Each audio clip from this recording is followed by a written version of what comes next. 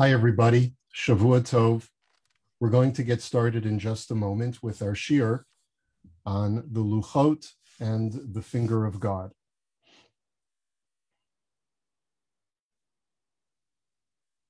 I hope everyone had a lovely Shabbos and is getting ready for Yom Tov.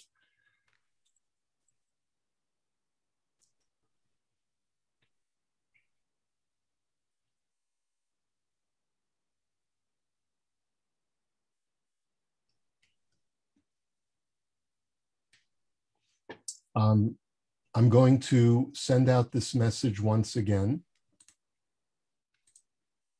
uh, in the in the uh, in the chat that if anyone would like to download the handout that we're going to be displaying on the screen tonight, you're welcome to click on the link that I just put in the chat.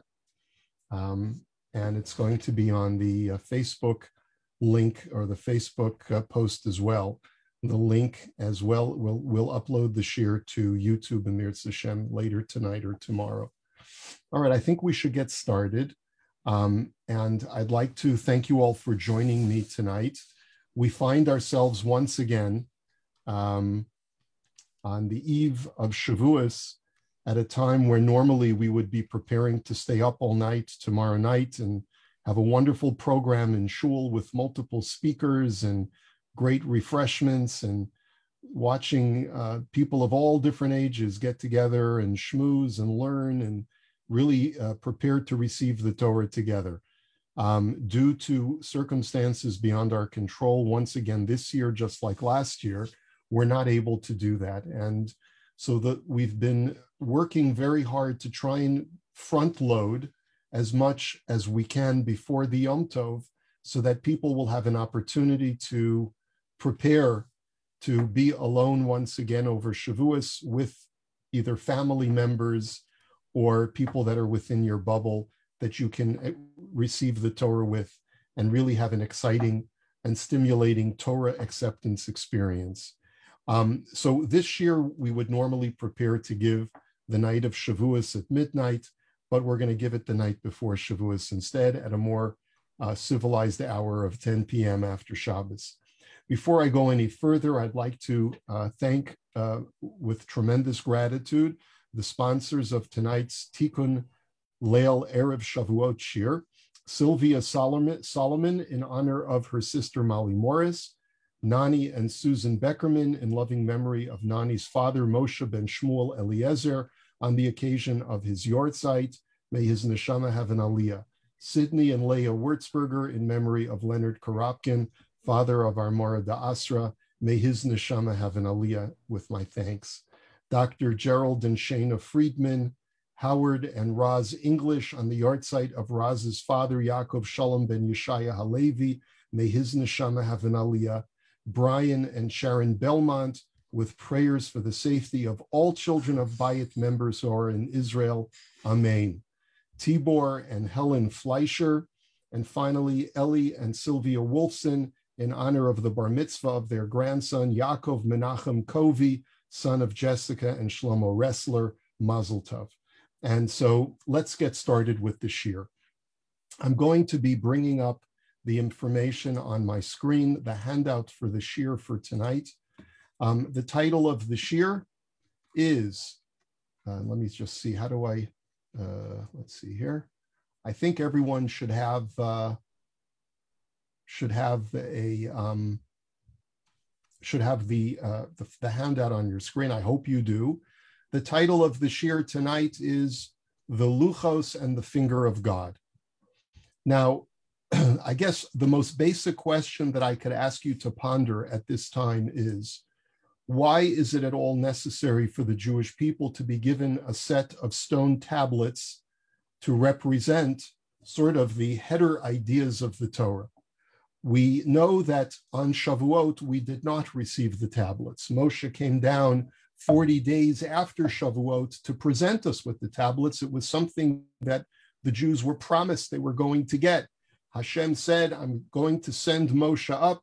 He's going to bring down tablets that engraved on the tablets are the 10 things that I've just said that you must follow, what we call the, the Aseret HaDibrot or the 10 Commandments. Why weren't the Ten Commandments on their own, uttered by the word of God, sufficient to act sort of as the initiating experience of accepting the Torah for the Jewish people?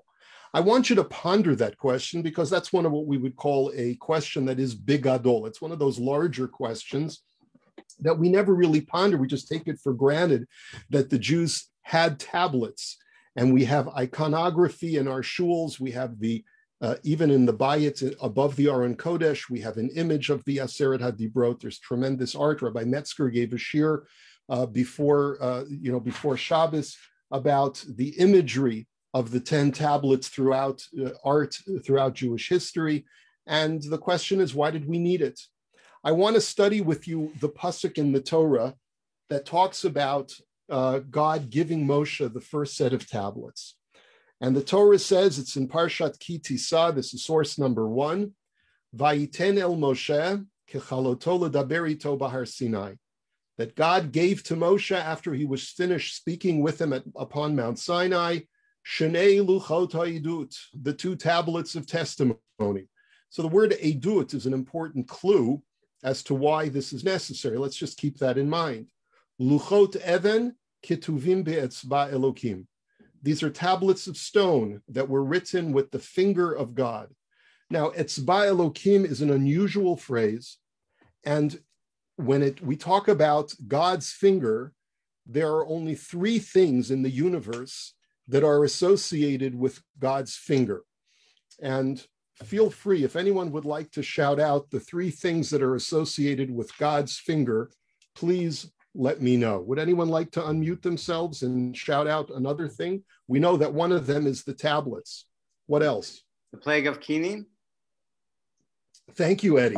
Very good. From the Baal Kriya, Dr. Jessen, right? The plague of Kinim, the third plague, is Etzba Elokim Hi. It is done by the finger of God, is what the magician said to Paro. What's the third one? Not something that we would expect the Baal Kriya to, to know automatically. But if you're a good Tehillim Zugger, you should be able to say this. Can anyone tell me where else we find the Etzba of Hashem associated with some with some creation?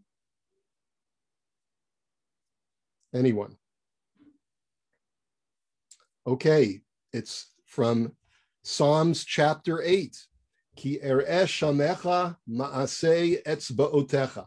I look at your heavens, O God, and I see the handiwork of your fingers. So apparently, when you look up at the heavens, you associate the heavens with the fingers of Hashem. Now, this is such a strange phrase, the finger of God, because normally we are used to more uh, hearing more normally the Yad Hashem, the Yad HaChazakah, the strong arm or the strong hand of God. Etzba seems to imply something else. And it's going, we're going to have to study carefully what the finger of God is, why it's used so sparingly, and also how it's viewed philosophically. We'll get to that in just a minute. But first, I want us to take a look at the Targum Onkelos, the Onkelos translation, which is that seems to be an exact word for word translation of the text from Hebrew into Aramaic. Source number two that God gave Moshe train luche sahaduta, two tablets of testimony, luche avna, tablets of stone, exactly like the Hebrew, kitivin be'etzba'a dadoshem, written with the finger of God. So it seems that there's nothing remarkable in Onkelos. Onkelos has not departed from the literal translation of the verse. And if I was just reading this in the Chumash, I would say, move on, folks, there's nothing to see here. And even though at face value there's nothing to see here, the Rambam finds great significance it for some strange reason, which we're going to have to analyze. He sees great significance in Onkelos translating this literally, which doesn't seem to make any sense, but we're going to get there in just a second. Many of you know, and some of you come to my Moreh Nevuchim class that I give online now ever since COVID started. Uh, we've been giving it online. And recently, before Pesach, we did chapter 66. And uh, this is a section in the first part of Moreh Nevuchim, which deals with the Rambam's major project in the first third of Moreh Nevuchim, which is to clarify uh, that God is completely not associated whatsoever with anything physical. As a matter of fact, the, the, we could talk about the first third of the book of Moreh Nevuchim as the Rambam's theology of God, the way that he understands God. He understands God like the like a philosopher, like an Aristotelian philosopher understands God, completely transcendent and removed from this world, completely non-corporeal. That means having nothing to do with anything physical, and outside of time and space and completely transcendent. As a matter of fact, the Rambam in the previous chapter, chapter 65, uh, had just finished telling us that even the very first verses of the Torah, where it says, And the Lord said, Let there be light, and the Lord said, Vayomer Elokim, Vayomer Elokim, Vayomer Elokim, God does not speak. And the reason why this cannot be taken literally is because speech is a human construct and it is therefore not to be associated with God. Whenever we find God speaking, it's a, it's a metaphor, it's a figure of speech. It does not literally mean that God speaks, but rather it means that God willed creation to come into being. And therefore, God does not use words, He doesn't use anything, He just created. Okay, and similarly, when the Rambam wishes to talk about the creation of the tablets, the Rambam once again feels it necessary to discuss this idea that Hashem is in no way associated with the physical world. And therefore, when he says, when he looks at this pasuk, ketuvim be'etzba elokim, that the tablets were inscribed with the finger of God, he says this obviously cannot be taken literally. God has no finger. God does not write. This is a metaphorical way of saying that God willed the, the writing of the tablets, just as the, he willed the tablets to come into existence. He willed the inscription on the tablets to come into existence. That's all it means. And then he says, and that's why I'm surprised at Onkelos. If you take a look with me, or scroll down to this portion of the paragraph, uh, uh, the, to the second paragraph in the uh, in source number three. I'm just reading simply from the words of the Rambam that I have in English for you on the screen from the Guide for the Perplexed Moreh Nevuchim. Onkelos adopted in this place a stranger, a strange explanation, and rendered the words literally written by the finger of the Lord.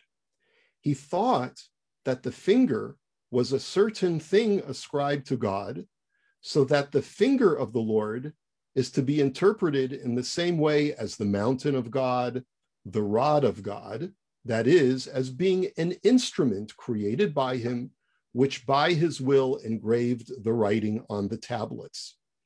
And I don't see why Onkelos preferred this explanation. It would have been more reasonable to say, written by the word of the Lord, in imitation of the verse by the word of the Lord, the heavens were made. Now, what the Rambam is essentially suggesting is that even though it says in the book of Psalms that the heavens are the work of God's fingers, but it also says in the very same Psalms that the heavens are created bidvar Hashem shamayim naasu, that through the word of God, heaven is created. So clearly, there is no finger of God that creates the heavens. It means by the word of God, which I just got through explaining means the will of God. So why couldn't Onkelos translate it that way as well? Now, we would look at this Rambam and say, Rambam, why are you attacking Onkelos? He's just doing his job. Onkelos's job is to translate the verses from Hebrew to Aramaic, and that's all he did. What you wanted him to change the translation to saying Ketivin bimilala dadoshem through the word of God, but he would not be faithful to his project of translating the text literally. Why are you attacking Onkelos? Now, this, if you were just looking at this one uh, snippet from the Moreh Nevuchim, you would be truly perplexed instead of this being a guide for the perplexed, you would become only more perplexed by reading the guide for the perplexed. But you'd have to take a look a little bit back in chapter 27 of the Moreh Nevuchim, where the Rambam says something very bold about Onkelos. Onkelos lived in the period of the Tanaim, of the composers and redactors of the Mishnah.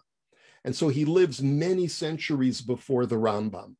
And part of the Rambam's project is not only to present his philosophical theology, which means to create a synthesis between Aristotelian philosophy and Jewish thought, but it is also to demonstrate that the Rambam is not innovating this project, but rather this project was, he is continuing what is a long chain of tradition of rabbis going all the way back to the times of the Mishnah, who also felt duty bound to perform the same project, which is to take the truth of philosophy and show that it is completely consistent with the Torah. And if you take a look at the very beginning of chapter 27 of Moreh Nevuchim, you will see the Rambam saying that. He says, Onkelos the proselyte, Onkelos Hager, who was thoroughly acquainted with the Hebrew and Chaldaic or, or um, Aramaic languages, made it his task to oppose the belief in God's corporeality. Part of Onkelos's project, says the Rambam, is the very same project that I am engaged in in writing this book. Just like I want to demonstrate that there's no physical attributes of God, Onkelos was dedicated to the very same thing. Accordingly, any expression employed in the Pentateuch, in the five books of Moshe, in reference to God, and in any way implying corporeality, he paraphrases in consonance with the context. In other words, the Rambam's thesis is that Onkelos always departs from the literal translation anytime the literal text implies corporeality or any kind of physical attributes of God. All expressions denoting any mode of motion are explained to him to mean the appearance or manifestation of a certain light that had been created for the occasion, i.e., the Shekhinah or providence or whatever name you want to, to, uh, to suggest. Onkelos has a, has a habit that anytime there's a discussion of a physical manifestation of God in this world, he doesn't translate the text as this was God, but rather this was a light created by God to represent God, but was not God himself. Now, once we understand that the Rambam felt that this was Onkelos's project, now we can better understand his question. If Onkelos is committed to this project to remove and distance corporeality from God, so then why didn't he do this in translating the verse Kituvim be'etzva Elokim? Why instead did he write that it was created by the finger of God, literally? Now, I want you to note one other point, and that the Rambam does a little bit of a switcheroo. When he says that Onkelos translated it as created by the or inscribed by the finger of God, he doesn't say that Onkelos believe that God has a finger, but rather the finger of God is a stylus. And it's a it's another way, it's almost like another way of saying that God had a tool that he used to, to engrave the tablets. That's what the word etzba means, not a literal finger, because obviously even Onkelos has to acknowledge that God has no body. That's the Rambam's assumption, but rather it means written by some kind of tool that God created specifically for this purpose. And the Rambam says, I don't understand why Onkelos felt the need to translate it that way. He could have just said it was created by the word of God and that would have been more accurate and more faithful to his project. Now, before we go any further, I want to help us understand that many commentaries find themselves aligning themselves with Onkelos based on the Mishnah in Pirkei Avot, that the Rambam is a big fan of. The Mishnah in Pirkei Avot says, and this is in source number five, Asara divarim nivreu be'erev Shabbat bein hashemashot. There were 10 things that God created at the very end of the Friday of creation, right before Shabbos came in. He created these 10 things. Now, what are these things? They are the, the hole in the earth that swallowed up Korach, They are the, the magic rock that gave forth its water in the desert, the mouth of the donkey that spoke to Bilam, the rainbow that appeared for Noah, the manna, the magical staff, the shamir that was used by King Solomon to build the temple, and then take a look at the last three things on this list of 10. V'haketav, v'hamichtav, v'haluchot. The last three things on this list were the writing and the michtav. I'm going to leave that untranslated for a second, and the luchot and the tablets. So, in order to first understand this, what is what is the whole idea being communicated by the Mishnah? Why does the Mishnah say that these miraculous phenomena were created um, at the very uh, moment of the six days of creation, instead of saying that God brought these things into existence at the particular times that they manifested in, in Jewish history?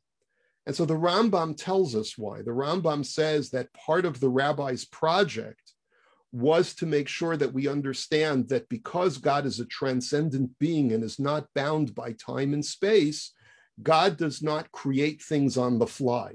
God does not create dynamically after time and space have already been created. And therefore, any miracles that manifested themselves in our world at any juncture in human history must have been put into place before time and space were put into motion. And the way that the Mishnah expresses that idea is that it gives us a list of a bunch of, of, of overt miracles that God created not at the time when they manifested in our experience, but rather he created them at the very beginning of creation and sort of put them on a timer. You know how you put an alarm on your on your on your uh, cell phone to wake you up at a certain time. So Hashem put um, a timer on the, the the ground that swallowed up Korach, and God said, when Korach stands over there at such and such a date and such and such an hour, the earth is going to open up. But that had been put into motion at the very from the very period of creation.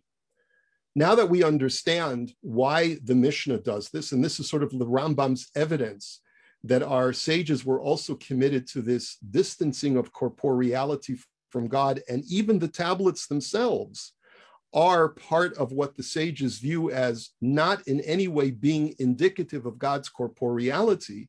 Now let's see how the Rambam would perhaps understand Haketav, Vahamichtav, Vahaluchot, because there are many different ways of understanding the difference between Ketav and Michtav. Like Rashi, for example, understands Kitav is the writing and the Michtav are the letters themselves.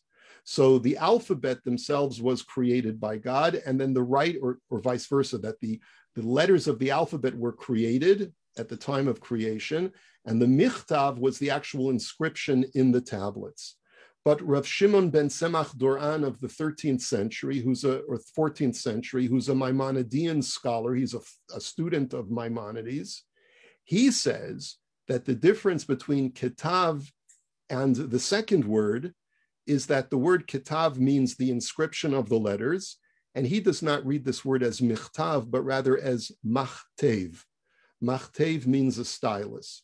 That God created both the letters that he was going to inscribe and the stylus that uh, is being alluded to by Onkelos, which is called the Etzba Elokim, the finger of God.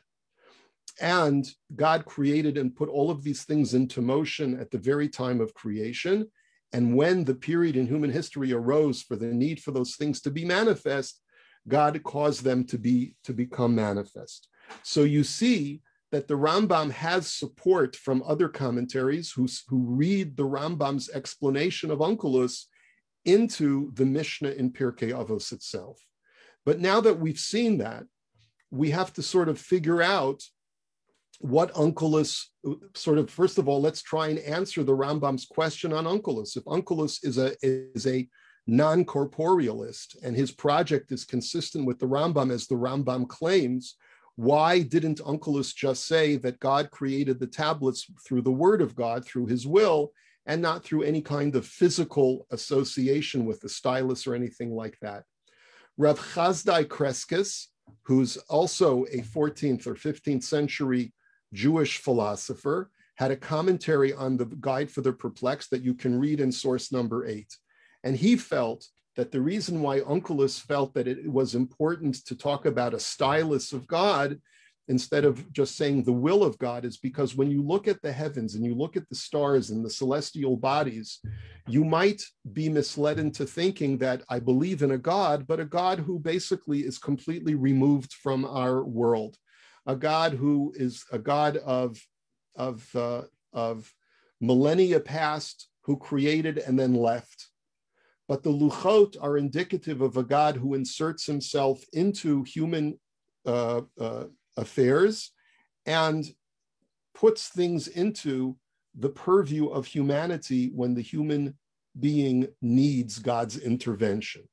And that's why there's a difference between talking about the fingers of God when it talks about the creation of the heavens versus the finger of God creating the tablets. The tablets are indicative of a God who is part of the human experience and not just a God who created before any human beings were there to witness that creation.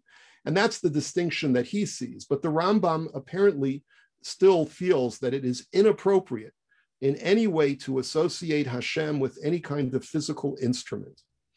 And he feels that Onkelos was not faithful to that very same project, and he leaves off with a question on Onkelos. Now, before we go any, any further, I want to point out that for the sake of, of understanding this discussion properly, we have to appreciate that the Rambam some reads into another author that which he believes to be true. And many times you see this in general literature as well. I could be studying Shakespeare and subscribe to a certain ideology, and I'll, I'll look at a play of Shakespeare and say, well, Shakespeare felt the exact same way. And I'll quote verses and I'll say, this is exactly what Shakespeare means. And if we were to interview Shakespeare and we were to ask him, is that what you meant, Sir William? He would say, no, not at all. This happens all the time. Remember, the Beatles were interviewed about their lyrics, I am the walrus. And uh, they said, oh, does it mean having to do with uh, Descartes and Heidegger and Wittgenstein and all? I said, we don't know what you're talking about. We were high when we wrote that song, right? So no one, I'm not, this is just a crude analogy, but the point that I'm making is, is that we tend to read, uh, we, re, we read ancient texts and we find things that resonate with us and we interpret them in certain ways, when in reality that may never have been the intention. The Rambam's thesis is that Onkelos is a non-corporealist. But if you look at the commentary of the Ramban, Rav Moshe ben Nachman, who lived shortly after the Rambam, but in a different part of Spain. In his Torah commentary, he is completely opposed to that thesis and demonstrates from a number of places how Onkelos was not interested in distancing corporeality from God in so many different places. For example, when it talks about God hearing, about God seeing, Onkelos does not distance corporeality from God uh, when it talks about God speaking, God hearing, or any kind of sensory perception on God's behalf. And therefore, the Ramban completely takes the Rambam to task over here as well. And he even goes so far as to say, if you take a look, I, this is a very, very short, abridged portion of the Ram, Ramban's commentary to chapter 46, verse 1 in, in Sefer Bereshit in Genesis, but if you take a look at this little snippet that I have for you, and he says, V'chein nahag b'targum ketuvim be'etzba Elokim be'etzba'ad Hashem. And you find that Onkelos also had no problem anthropomorphizing God in his translation and saying that God wrote with his finger. Ki ha'etzbla ki kli nivra asher habore he says, and, and even the Rambam reading into Onkelos that the word etzba is not the finger, but rather is a stylus, some kind of instrument that God created, einenu emet. It's not true. I'm sorry, Rambam. You're, you're mistaken. Kihine mi yamino eshtat lamo kitav yamine. He says, because take a look at Deuteronomy chapter 33, where it talks about uh, miyamino, that on God's right side, there is a fire that is uh, Dat Lamo. There is a fire that represents God's Torah. And there, Onkelos translates it as Kitav Yamine, that the writing of God's right hand. Velo pachad min hayamin hakotevet shetore al hagashmut. And Onkelos was not at all concerned that we should misunderstand and perhaps interpret that God has a hand, a right hand with which he writes the Torah. V'chein min ha'etzva. And therefore, Onkelos has no problem saying that God wrote with his fingers. And fingers is literally fingers, even though God is non corporeal. But Onkelos doesn't have that responsibility of distancing corporeality from God as you think, uh, Maimonides. And so now, here comes our question. So now we have to really try and figure out. We understand clearly the Rambam's project. And the Rambam feels that we have to distance corporeality from God. But now the question is why does the Ramban so strongly come out against the Rambam and say that no, it is okay to ascribe corporeal attributes to God? Does that mean that the Ramban was a corporealist? There are people who see the world in black and white and therefore suggest that if you don't subscribe to the Maimonidean view, then you are a corporealist by default. You believe that God has some kind of physical or can assume physical form, and that verges on apicorsis, on heresy, on Christianity, yada, yada, yada. But that's but you have to appreciate that when we're dealing with these subtle theological principles, that's not it's not binary. It's not either you're with the Rambam or you're against him, but rather we have to appreciate that while the Ramban also completely appreciated that God is completely non corporeal, but he also had an appreciation for the fact that when the Torah and verses in Tanakh ascribe corporeal attributes to God, it's helpful for us. And it's not something that we should completely do away with, but rather we have to appreciate the function of the metaphor and how, in some way, it's helping us. And I believe that this will ultimately shed light on why, in the first place, God felt that a set of tablets was, was necessary. And for this, we have to go to Rabbi Yehuda Halevi, uh, our great teacher uh, from the Kuzari. And in the first section of the Kuzari, as we all know, Rabbi Yehuda Halevi had five essays. In the first essay of the Kuzari, paragraph 87, Rabbi Yehuda Halevi discusses the events that happened at Mount Sinai. And he writes as follows uh, source number 10. Even though the Jewish nation believed in God and Moshe as a result of all the miracles, there still lingered in their hearts one question How could God speak to man? That's a very basic question. How does a transcendent being communicate with the human being? They saw all the miracles, but the miracles did not indicate a very basic principle that we believe in Judaism that God not only performs miracles for mankind, but God communicates with mankind. And how can that happen if there is such a, a gaping chasm between the Almighty and the human being? And so, in an effort to explain this, he says, perhaps they thought the origins of their religion were man made, and that these origins only helped to induce divine aid and might. They had difficulty attributing speech to an entity that was not human, for after all, speech is a physical act. The very thing that Maimonides insists is something that we must distance from God is the very thing that Rabbi Yehuda Halevi says that this was the very problem that the Jewish people had we appreciate that God is not a speaker, God, God is non physical. So, how does he communicate? God wished to remove this doubt from their hearts.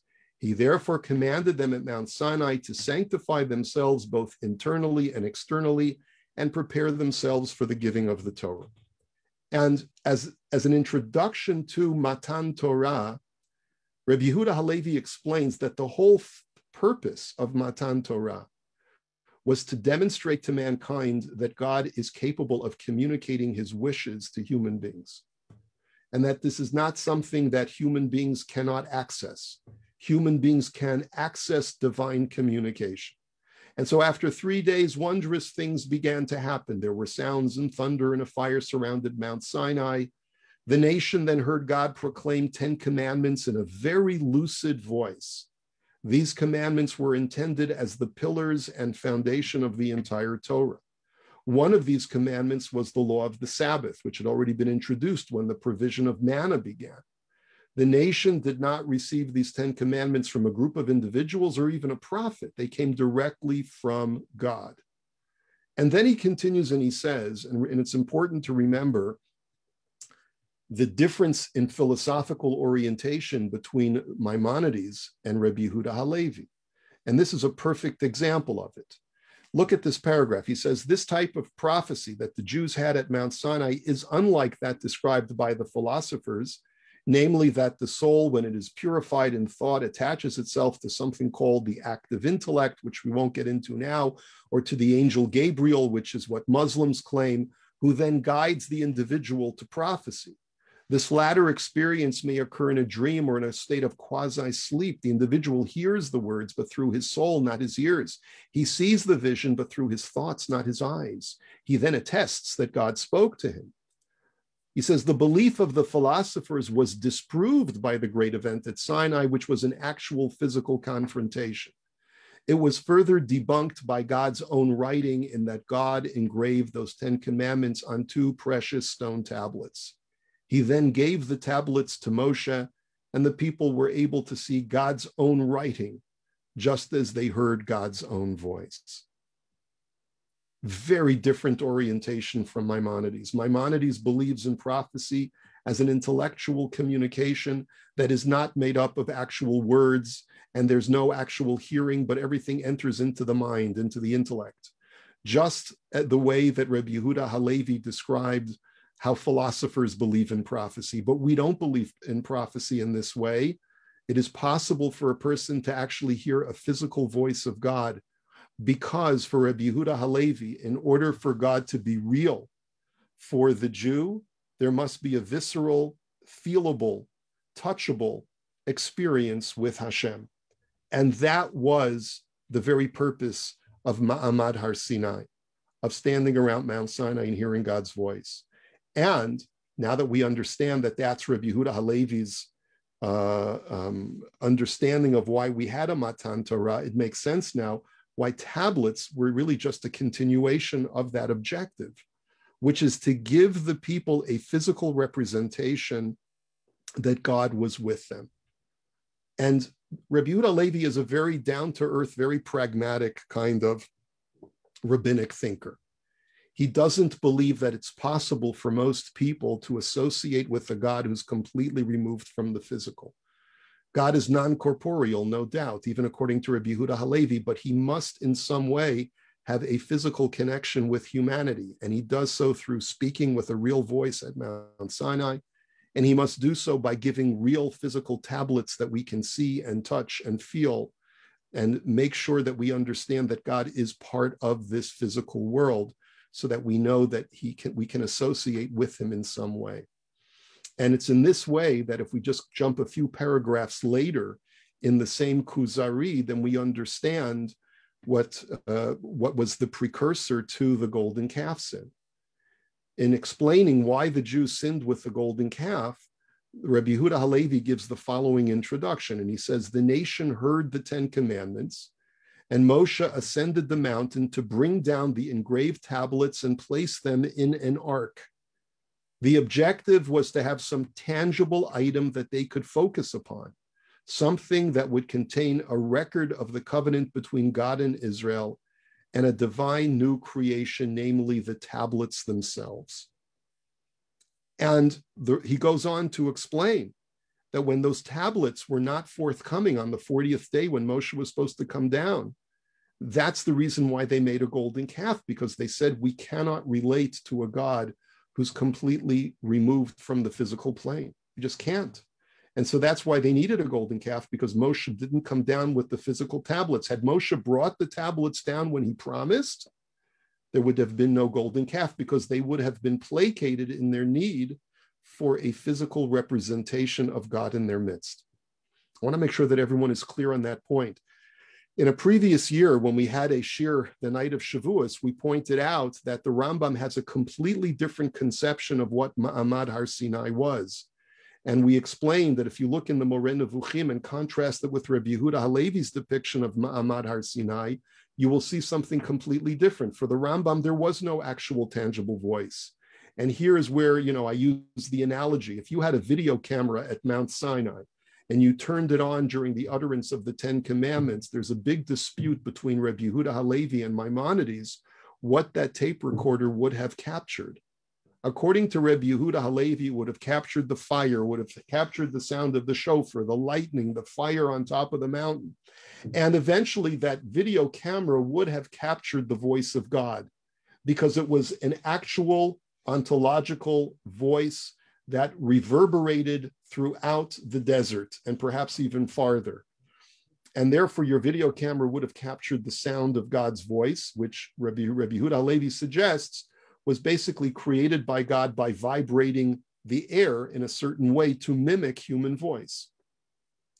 But if the, the Rambam had set up that tripod with the video camera on it, the Rambam would have told you that no voice would have been recorded on the video camera. Everything was internal. Every single Jew had that prophetic experience of understanding God's will, which translates into the Ten Commandments, but they would not have actually heard a real voice. Okay? So once we once we read Rabbi Yehuda Halevi, we have a greater appreciation for why the Ramban, Nachmanides, is so opposed to the Rambam's project of removing corporeality from God. Yes, it's true that God is non corporeal, but mankind, human beings, because we live in a three dimensional physical world, we need to have something that is physical, visceral, that we can associate with to appreciate God. And this is the tension that exists within Judaism that, on the one hand, God is supposed to be completely transcendent. And on the other hand, God is supposed to be immanent, close, and accessible. And the balance that is created between these two creates the tension between a Maimonides and a Ramban and Rabbi Yehuda Halevi on the other side. Before we move on, or before we before we finish this discussion, we have to explain why the word etzba. We said we would come back to that. Rabbeinu Bechaya, in his commentary to uh, the eighth chapter of Sefer Shemot, where, where the first time Etzba Elokim appears, as Eddie Jessen had said in relation to the third plague, he asks the question why only by the third plague did the magician say this is the finger of God?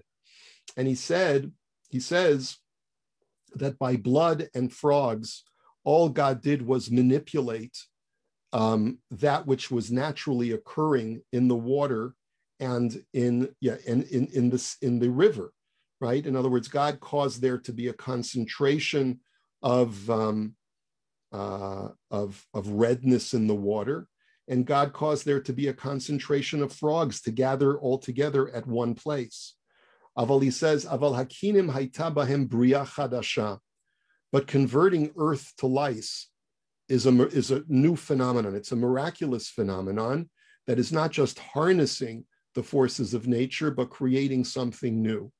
And therefore, he says, "Ulakachiz kirbo lashon etzba shebiuro pele." And therefore, he says that's why the word finger is employed by the plague of lice because it means something miraculous, something completely departing from the laws of nature. Kilashon ha'amur begalgalim, as is explained by the celestial bodies, ma'aseh etzba'otecha, the handiwork of your fingers.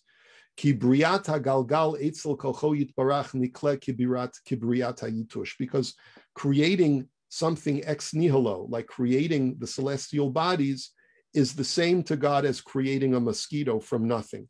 The point is that they're both miraculous creations.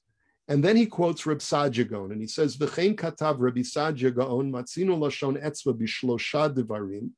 We find the word finger associated with God in three places: Galgalim, the celestial bodies, the celestial spheres. It depends how you translate it. Uviluchot and the tablets. Uvimakat hakinim and with the plague of lice. And he writes, why these three things? He says, Hagalgal betachlit hagodel she'en guf lamayla mimenu The celestial bodies is the most impressive creation of God to human perception because it's the largest. To talk about creating planets and stars, that's the most impressive because it's the largest and the grandest of scales. The Luchot is equally impressive, but for another reason. He says, Ulamaila mehem bizohar, because even though they're small in size, they are magnificent in what they represent as far as divine illumination. And then finally, he says, why lice? Bitachlita katnut vahagriut. He says, because lice is the, is the epitome of something that is trifling and tiny and, and small. He says, and the idea is, afalpi kain hiskir bishloshtam lashon echad that all three get the same attribution of the finger of God. Lahorot, this is to indicate ki hakol echad yecholto yitbarach, to demonstrate that they're all the same for God. When you're God, creating Jupiter is no more difficult than creating a single louse out of a grain of sand. And that's the magnificence of God's creation. And that's the reason why the word etzba is used only in these three places the grandest of creations and the most trifling of creations are the finger of God. Now, that's very helpful. That's very helpful to help us understand why only in these three places, but it doesn't really give us the full picture. Because as I mentioned before, that at least explains what these three have in common, a thread between these three. But why not say the Yad Hashem? What's the idea of an etzba, of a finger, a single finger? So I'd like to bring your attention to something fascinating that the Radak says from a linguistic point of view. If I was to ask you a question, what would you say the shoresh, the three-letter root of the word etzba is? Ayin sadi beit ayin. What would you what would you suggest? What is the shoresh of the word etzba? And many of you who know me and have heard me talk before know that I love to go into the etymology of words. What is the shoresh of the word etzba? Can anyone tell me? Tseva. Tseva, Sadi Bet Ayin. Yeah. So it, it's from the same word. What does the word Seva mean? Color. Color. Seva color. is a color. Yeah, Seva is a color. Now, what is the what is the commonality between a finger and color?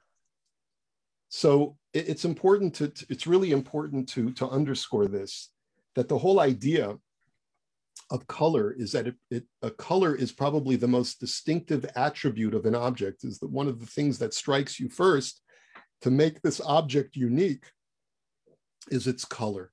And color many times separates different objects from each other. Something could be white something could be red and it's the thing that makes is most distinctive perhaps that's why there's so many race problems in the United States today is because people see things with their eyes first and they fail to see the humanity. All they see is color. And that's truly unfortunate. But color does provide you with something distinctive, right? The finger, especially, and we'll see in contradistinction to the hand, but the finger implies the dexterity with which the human being creates things and provides them with his unique imprimatur. The artist who wishes to provide something unique through creating a piece of art does so with his fingers and provides something distinctive and unique that he transfers from his own skills, from his mind, and places into the sculpture or the canvas or anything else that he is creating and does so with his fingers. The fingers are the unique feature of humanity that allow us to create and create unique uh, things that are a product of the creator. And so, therefore, the word etzba is associated with the word seva, which means color, which be, because the etzba is the instrument of the human being to create distinctive features in his work product.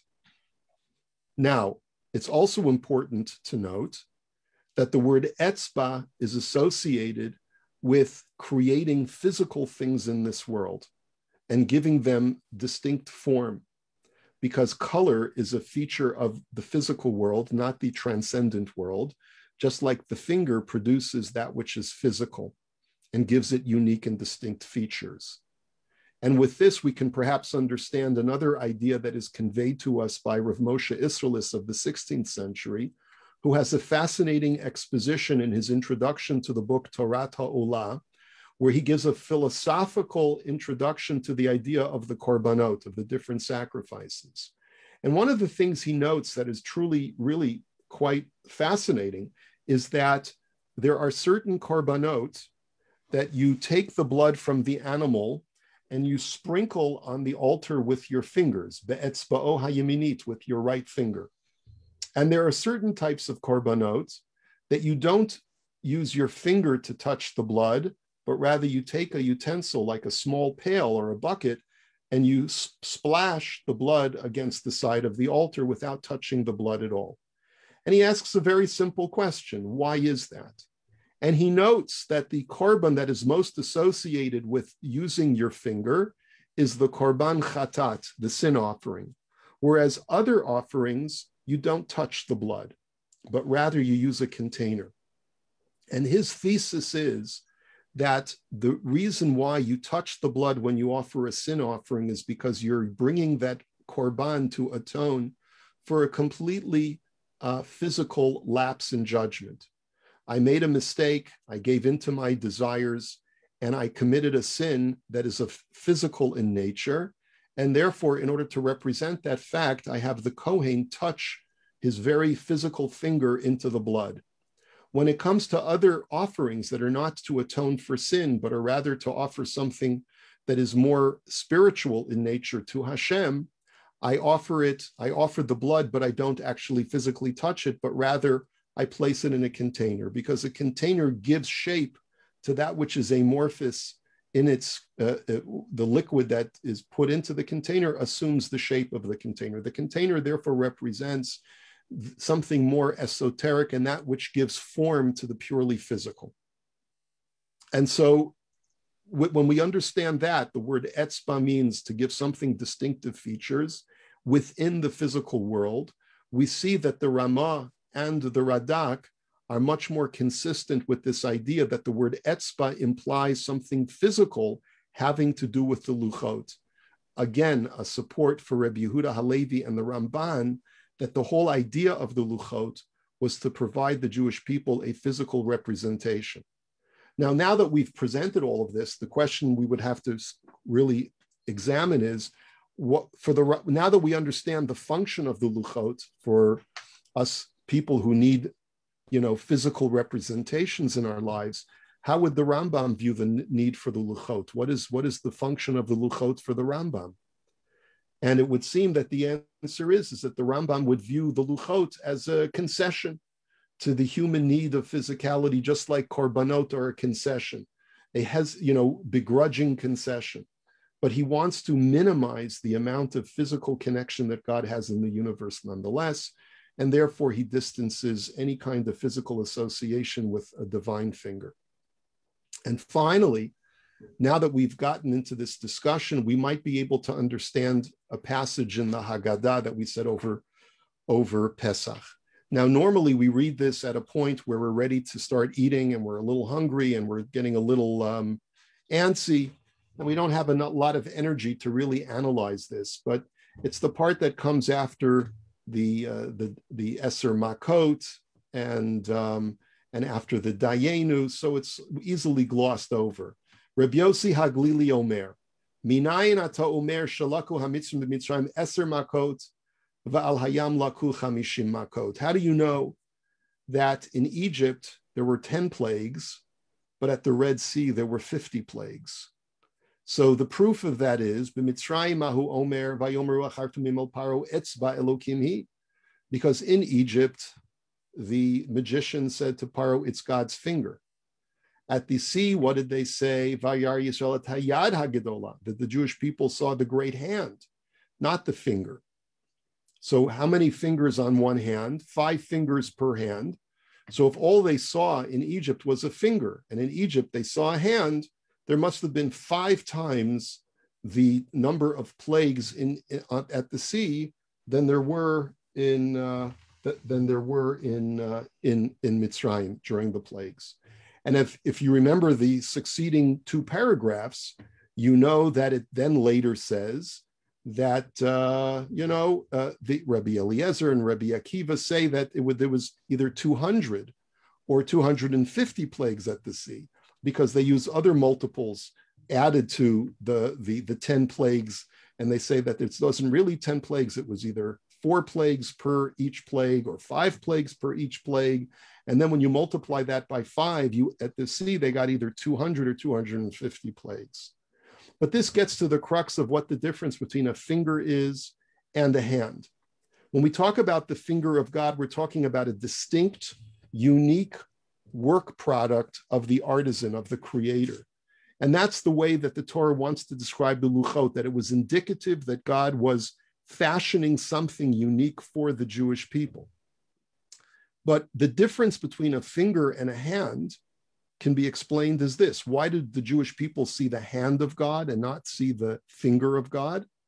For one simple reason because the hand is representative of the conglomeration of all of the fingers. That just like when you use your entire hand, you're able to grasp the totality of something. And when you use your fingers, you're dealing with something very intricate that you want to produce that is unique. That's the difference between the finger and the hand. The, the, hand, the finger produces that which is intricate and unique and distinctive, just like the distinctive colors in an object. And the hand is the overarching ability of Hashem. So now we have a better understanding of the difference between finger and hand. The, with each succeeding plague, the Egyptians and the Jewish people saw a different ability of Hashem to create and manipulate nature. But when did they see the final overarching picture? When did they see that God was not only a God who could bring specific uh, types of afflictions to mankind, but rather that he was a redeeming God, a saving God, a God who can not only um, uh, bring specific pestilence to man, but could actually manipulate nature to the point where he could drown some and save others and do and have complete mastery over nature in its totality. That's at the Red Sea. And that's where they see the hand of God and not just the finger of God. And so just to just to conclude, I think that we've answered some of our questions tonight. Our first question was, why do we need tablets in the first place? And we see that had Moshe not delayed just by a few hours, the presence of the tablets themselves, because they represent a physical connection between God and the Jewish people, which was so crucial for their psyche, would have actually averted the sin of the golden calf, according to Rebbe Yehuda Halevi. And why then is it called the finger of God? Once again, to try and anthropomorphize this idea to bring God and make him more immanent for mankind, as the Ramban says.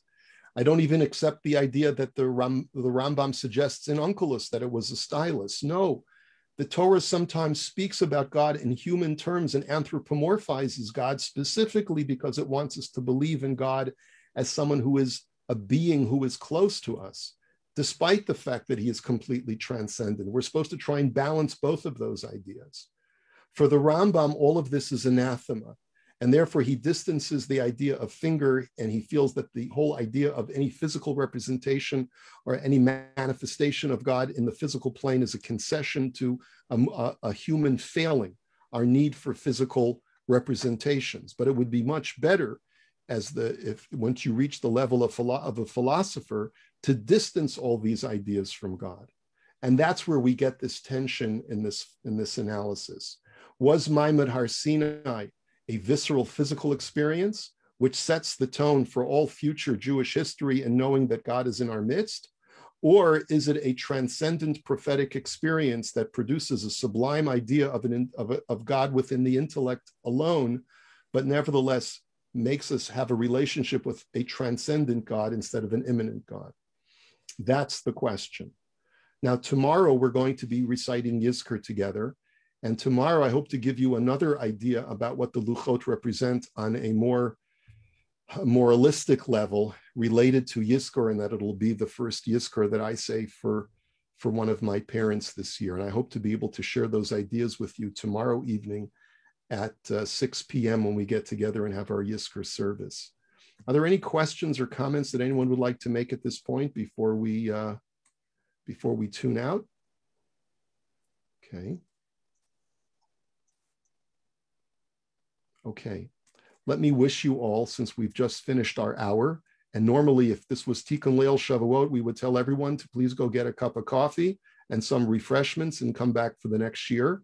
Unfortunately, there is no next year, at least not for tonight, but I encourage you all, please spend some time over Shavuot, the night of Shavuot, make Kiddush late, wait until Tzeta Kochavim, wait until nightfall, um, and make Kiddush for your family, have a meal, and then study Torah as late as you can. And let's re-accept the Torah together. Thank you for all being with me tonight. I really appreciate the opportunity to share these ideas with you. And we'll look forward to tomorrow morning. There's going to be a Siyum for the Brotherhood in memory of Rabbi Rosenberg that we do every year. That's at 10:30 tomorrow morning, and then tomorrow evening for uh, for Yizkor at 6 p.m. Thank you, everyone. Shavua Tov, a good tevach, and a good Erev Yantif. We'll see you soon. Take care now. Thank you so much. Thank you, Rabbi. Thank you.